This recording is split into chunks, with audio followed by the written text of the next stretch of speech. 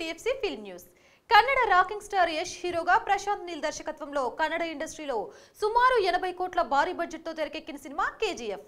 దేశవ్యాప్తంగా సుమారు ఏడు భాషల్లో ఏకకాలంలో డిసెంబర్ ఇరవై ఒకటిన ఈ సినిమా రిలీజ్ కాబోతుంది.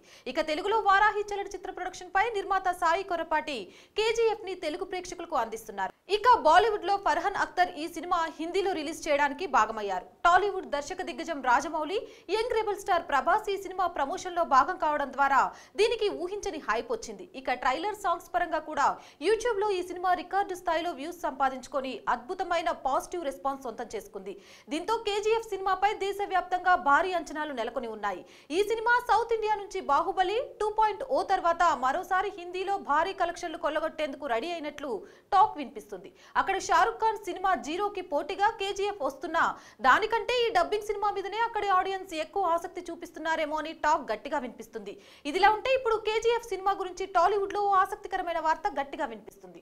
డిసెంబర్ ఇరవై ఒకటిన అంతరిక్షం పడిపడి లేచే మనసు సినిమాలకు పోటీగా వస్తున్న ఈ కన్నడ డబ్బింగ్ సినిమాపై టాలీవుడ్ ఆడియన్స్ చాలా ఆసక్తిగా ఎదురు చూస్తున్నారని తెలుస్తుంది.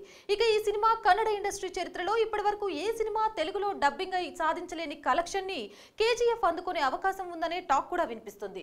ఓవరాల్గా ఈ సినిమా తెలుగులో తక్కువలో తక్కువ ముప్పై నుంచి యాభై కోట్ల వరకు కలెక్ట్ చేసే అవకాశం ఉందనే మాట గట్టిగా వినిపిస్తుంది. కేజీఎఫ్ దెబ్బతో టాలీవుడ్లో అతని నెక్స్ట్ సినిమాలు కూడా మంచి మార్కెట్ ఏర్పరచుకునే అవకాశాలు ఉన్నాయని అందరూ చెప్పుకుంటున్నారు. ఏదేమైనా డిసెంబర్ ఇరవై ఒకటిన రిలీజ్ కాబోతున్న కేజీఎఫ్ మూవీ టాలీవుడ్లో చరిత్ర సృష్టించడం పక్కా అని ట్రేడ్ అనాలిసిస్టులు భావిస్తున్నారు. మరి భారీ అంచనాల మధ్య వస్తున్న ఈ సినిమా తెలుగు ప్రేక్షకుల్ని ఏ మేరకు మెప్పిస్తుందన్నదే వేచి చూడాలి.